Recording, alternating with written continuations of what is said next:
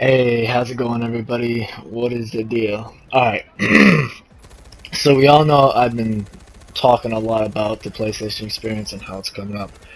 And you might even go as far as saying, hey, Mojo, you've been hyping this thing up way too much. And I, tell you the truth, I, I, I wouldn't disagree, man. I have been talking a lot about it, but, you know, I've been really excited to see uh, what Sony's going to be showing. This is, I believe, the first PlayStation Experience event. This is the first of its kind. Uh, that, there's probably going to be more after that. But I'm just saying, hey, what can I say? I prefer my PlayStation. Uh, you know, it's pretty close. If I had to choose between the Xbox One and the PlayStation 4, it'd be pretty darn close. But what drives me to the PlayStation are my two favorite games that I like to play uh, a lot on the PlayStation. That's Last of Us and Killzone Shadowfall. And I'm the reason why I'm so hyped up for Sony games is because uh, ever since the PlayStation 2, my favorite games have always been on the PlayStation consoles. Uh, the only one that ever convinced me where I liked the other system better was the N64. I thought the N64 was better than the PlayStation 1, but ever since the PlayStation 2, uh, my favorite games just so happen to be on there. On not any fanboy stuff, I'm being legit. Like every game I I played on the PlayStation and platform has always turned out to be like my favorite. Last generation was Uncharted. Generation before that was Metal Gear Solid and the Jak and Daxters, although Metal Gear Solid did end up going to other consoles as well later on, but it was widely known on the PlayStation, you know. Kingdom Hearts was an amazing game.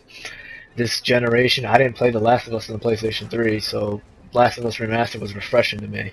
Uh, that is my favorite game, and I'm a big Killzone fan. I always have been. You know, that's that's one of those games that uh, I enjoy a lot. But anyways, um, this video is going to be about the uh, five big reveals that could happen at the PlayStation event.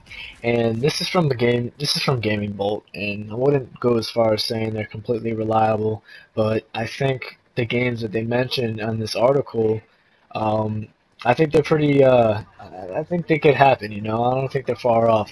So I'm just gonna name a few of them that they uh, that they mentioned. Uh, one of them is being um, saying that there's possibly going to be a teaser trailer for the Guerrilla Games open world RPG, which I gotta say, judging from the artwork and the screenshots from it, look uh, they look like a blast. I mean, I wouldn't say that you know this is going to equal up to an amazing game. This is just concept art.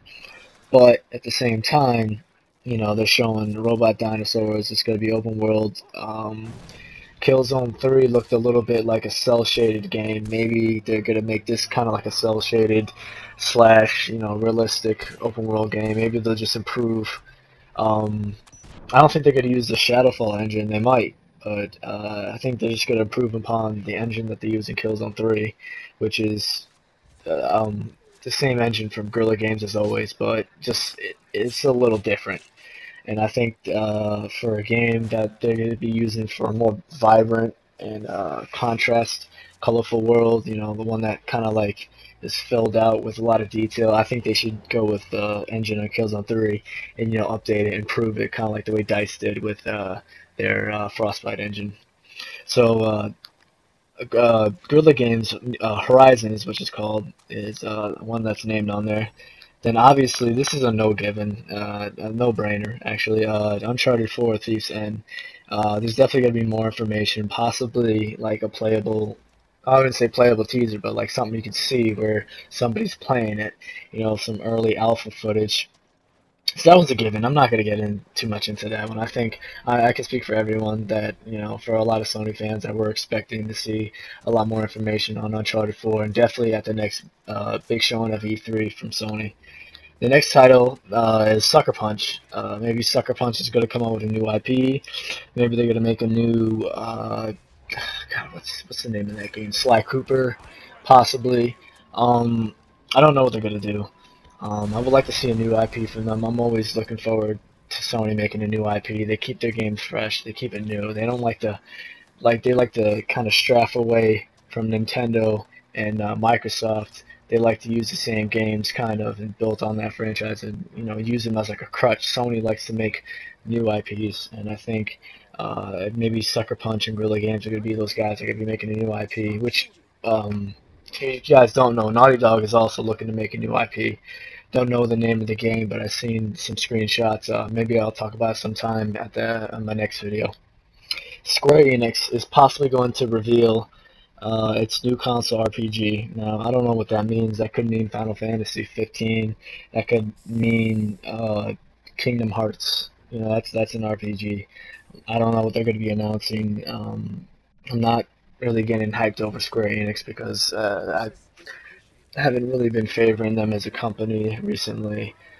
Uh, well, actually, for the past two years, I haven't really liked them that much. But um, I am. I, I'd be a liar if I said I wasn't kind of happy for a new Kingdom Hearts because I've been waiting for a long time, and also as well as um, a new Final Fantasy game. That that's gonna be awesome. Now, the last one, I really don't. I haven't heard of it. I, I haven't. Uh, this is this is news to me. You guys probably know more about it, but it's uh, Media Molecules Project. Uh, it mentions games like Tearaway Unfold, and it, it's not something I was um, not too familiar with, but sure, I mean, that's not something I would get hyped over. Not something that I even know much about, judging by that screenshot. Um, in other news, though, I'm gonna throw in there uh, two more things. Uh, everybody's gone to the Rapture. If you've been getting hyped for that game, which I don't know why, because they haven't shown anything, and if but I, I mean, I'd be a liar if I said I wasn't curious. I really do want to see what the game's all about. It's also a beautiful looking game. Um, that will not be appearing at the PlayStation Experience. It's already confirmed. The developers on Twitter already confirmed it, and that's how it is.